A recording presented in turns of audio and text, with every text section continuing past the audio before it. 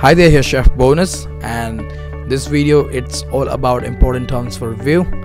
Where in this video I got three important terms where I'm gonna explain you in perfect way where you can understand about this.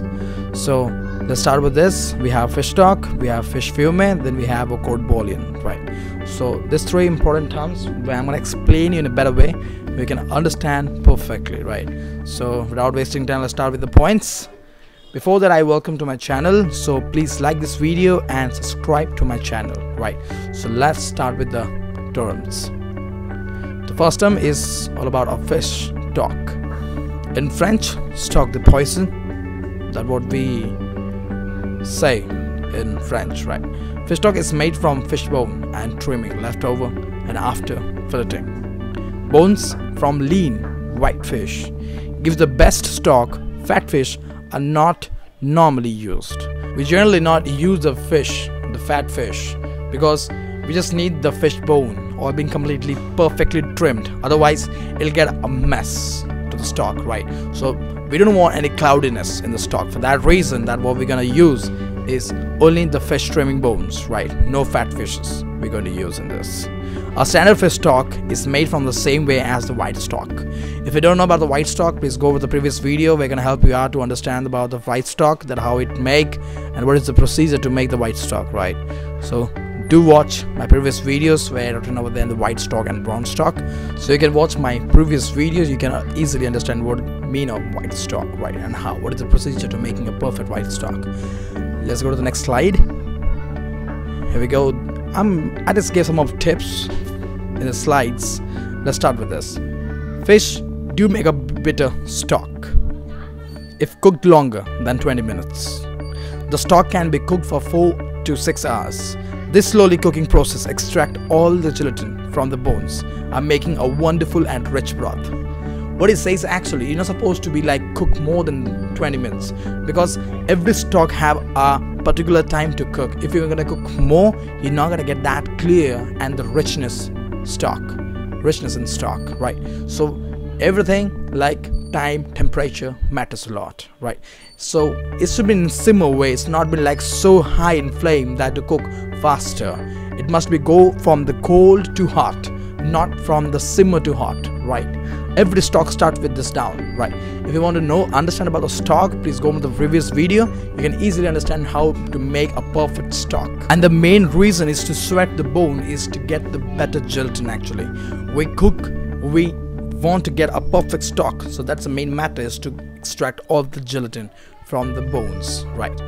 Cooked fish stock that has been kept constantly frozen at 0 degree Fahrenheit which keep safe. As I said that every food has a temperature to keep it right. You just can't keep it in the normal temperature. As you done the cooking process, you straight gonna go and change temperature and keep it inside, right?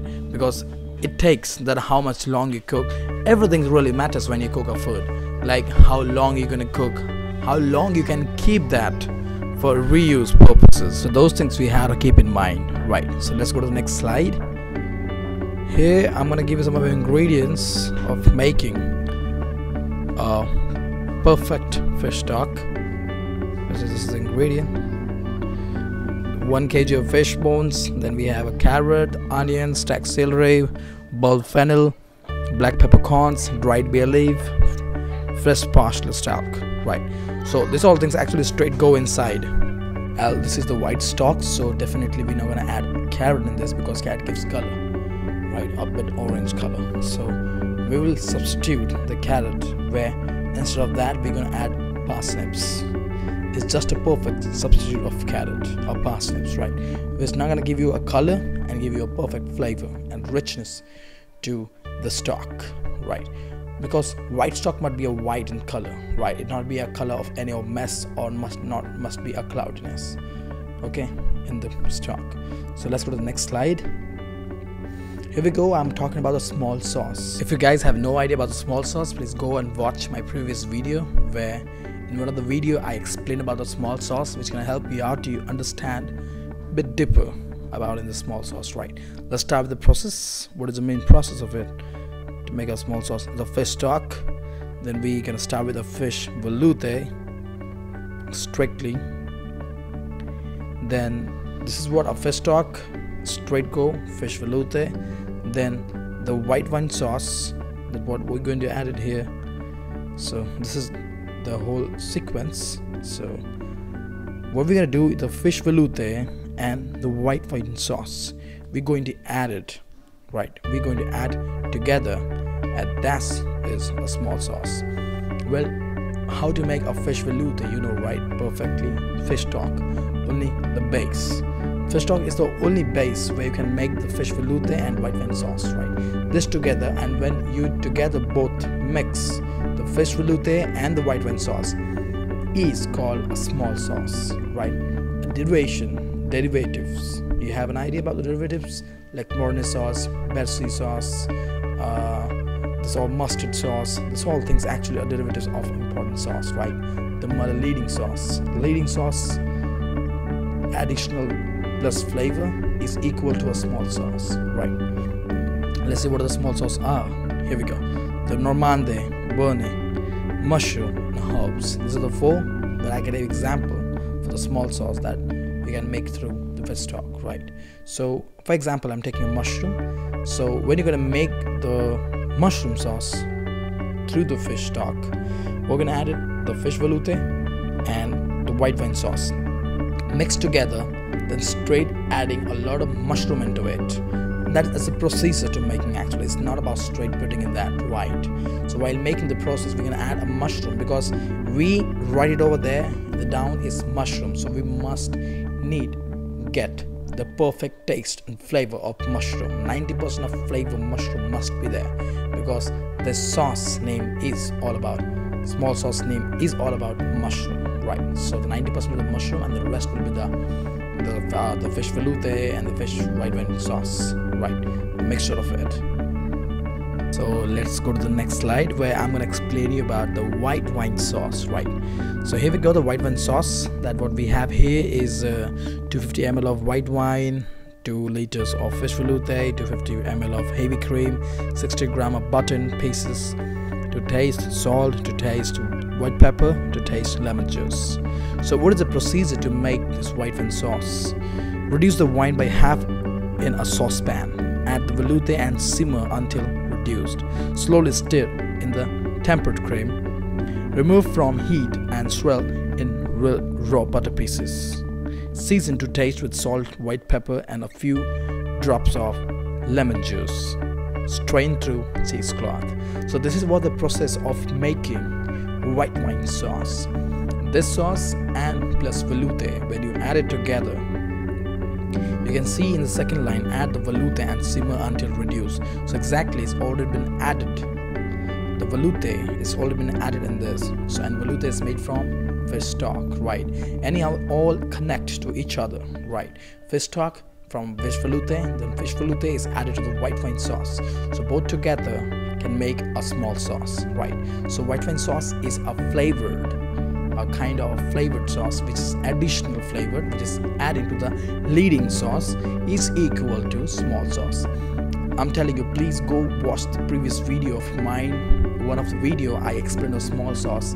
If you're gonna go through that you can easily understand that what is all about a small sauce right?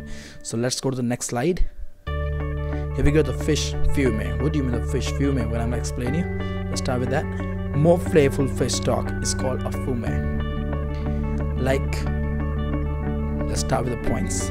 A french term used to refer to a condensed mixture that contain an influence flavor derived from cooking stock that has been reduced in order to make it more concentrate.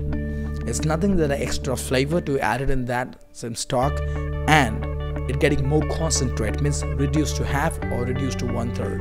So what it does that give you more concentrated flavor so it condensed right? You can understand that when you reduced it more concentrated and rich. It's getting more and more rich right? A fish fume is made by first sweating the bones mirepoix in the fat. White wine is to add it to deglaze it. And finally water is added and the fume finished in the normal manner. This is exactly that how we make the fish stock is nothing nothing that's a big deal with making a fish fume it's about the what we do in fish stock. We don't sweat. Those all things actually bones and all in butter. But in fish fume for more good flavor what we do is sweat the bones with the butter. So it gives a more more dense flavor like mirepoix and the sweat right? This too important like this is the main actual in this fume eh? to adding both and sweat before adding the liquid into it right so this is what about the fish fume it's additional flavor and reduced to half. To give a more condensed flavor and one extra uh, what can I say process that to sweat the bone and mirepoix before you're adding water in it right? So let's start with the next and let me just uh, tell you about the ingredients here. Here are the ingredients that how we make the fish fume that's for butter mirepoix onion, celery parsnips mushroom bones for lean fish white wine. You can add any of vegetable but not gonna give any color to it. For that reason you can see the parsnips written over in the sixth line that clearly uh, in the fifth line parsnips is this written over there just because of we're not gonna add carrot in it. So no color in it right? Then second for more flavor we adding some mushroom in it right? Which give you a, a great flavor especially in the white and white uh, making of white stock we generally add the mushroom in it right for the for the better taste right? Let's see. Here the sachet that how you're gonna make it. That uh, we're gonna make it the bay leaf peppercorns we have parsley stems then we have a whole cloves then the water and cold right? As we know that when we're to start with the stock making process is supposed to go for the cold water first not been simmered also right? So cold to top so hot right? So that you must keep in mind before you're going to go for the process right?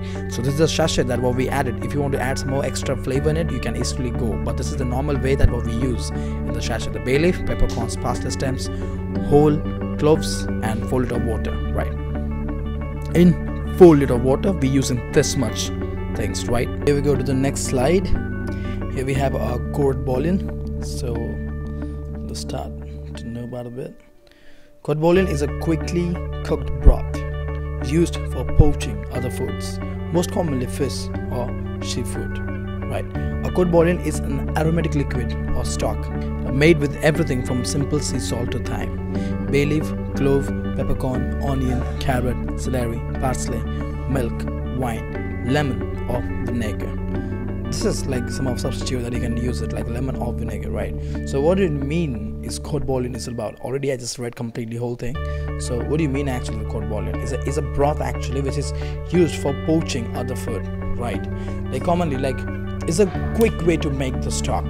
For example, I can say something like uh, like I will explain I will explain a bit more like water adding this all things what we are over here bay leaf clove peppercorns onion carrot celery parsley milk wine these all things that add in once and add the things to get poached in it right? So exactly that water not been thrown right? That water is now a stock. So you can easily actually make which will not take any longer time to cook right? Once your poaching is done that water you can easily use as a stock for adding a little bit of additional flavor right? And this especially the court bouillon is commonly used for the fish or seafood to poach it right? Let's go to the next slide when cooked gently in court bouillon delicate food notably fish and other shellfish as well as eggs whale and chicken and a hint of liquid flavor right court bouillon is usually prepared for ahead of time and cooled and strained before use. It means passed from the sieve, so it will be completely a clear stock, right? So there will be not a single mess or any cloudiness will be present in it. So fish cooked in court bouillon that will be served hot. It's removed from the liquid once cooked through.